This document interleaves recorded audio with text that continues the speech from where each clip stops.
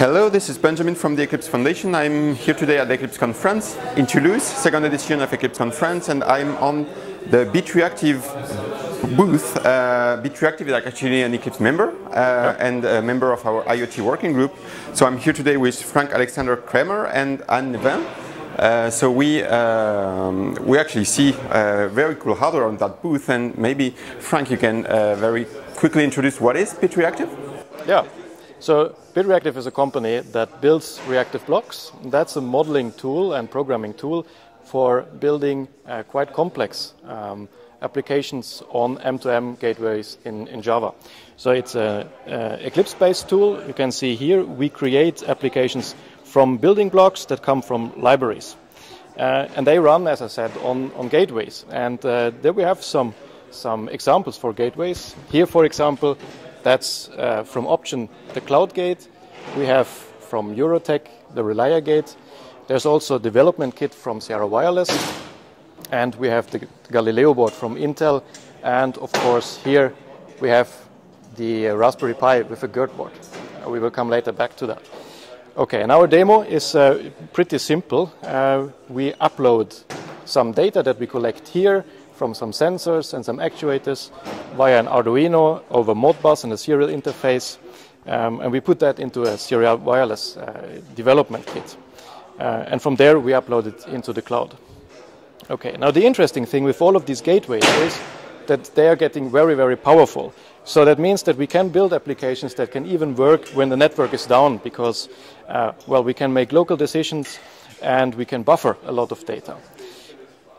The problem is that uh, such applications are getting very, very difficult to make for programmers that are not used to concurrent programming. So you need to take a lot of uh, things into account that happen at the same time. Okay, let's have a look how this application looks now in reactive blocks. So this is basically a visual programming environment, right? For yes. uh, any kind of IoT applications, I guess. So I see some Correct. building blocks and Arduino interface. So is this like for reading the GPIOs of the Arduino? Exactly. So we have here composed a very simple application consisting of three building blocks. This one is simply reading in a configuration uh, that we later need for accessing the server and uh, some things of the Arduino. And when we start up the system, we are starting that block, we're getting these values in a map, and then you see we are starting up two other building blocks. One is the Arduino interface, I will show you that in a, in a second, and the other one is a building block to publish data into the cloud. Okay, now these building blocks are graphically. However, I can double click here on the Arduino interface, and then you see it decomposes uh, into another building block, and that one contains a periodic timer here, over there, to the left, and it in also includes a building block for having access uh, to Modbus. So we are transporting all the data from and to the Arduino via uh, the Modbus protocol. And the other elements here, they are Java operations. So whenever I have something specific uh, for my application, here for example, I want to get the port parameters, I can double click here and that corresponds to a Java method. So in a way, it's a programming uh, uh, environment, but it uses graphics um, for all the parts that have with, with uh, concurrency and synchronization to do, and we generate the code for exactly those parts. So, and this is anyways code that you don't want to uh, write yourself.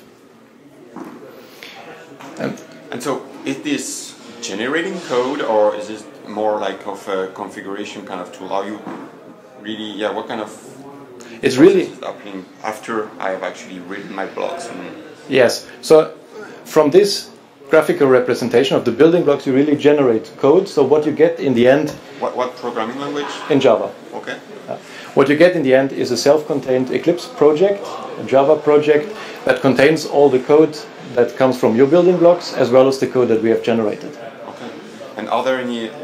Is there do I need anything else than the Java virtual machine for running uh, Reactive Blocks application? No, whatever runs Java will run Reactive Correct. So that's why you showed earlier the, the Galileo, the Raspberry Pi, and the like. You don't need external libraries, just Java.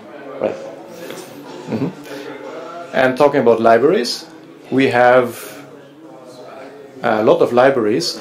Uh, among them, for instance, uh, support for MQTT. So if I would like my application to speak MQTT, then I just drag the MQTT publish building block and into my application. and now I could connect it uh, to an MQTT broker if that is what I want to do. And we plan to support more Eclipse IoT technology. Interesting. So is this using Eclipse Paho? Yes. Okay, so you're basically just wrapping the, the, the Paho APIs into a building block and people can just like call the APIs very... very exactly. So um, an, a reactive block is a Java API or a Java implementation together with an enclosing building block. Mm -hmm. So what are the kind of applications that uh, you or your customers are, are building with, uh, with reactive blocks?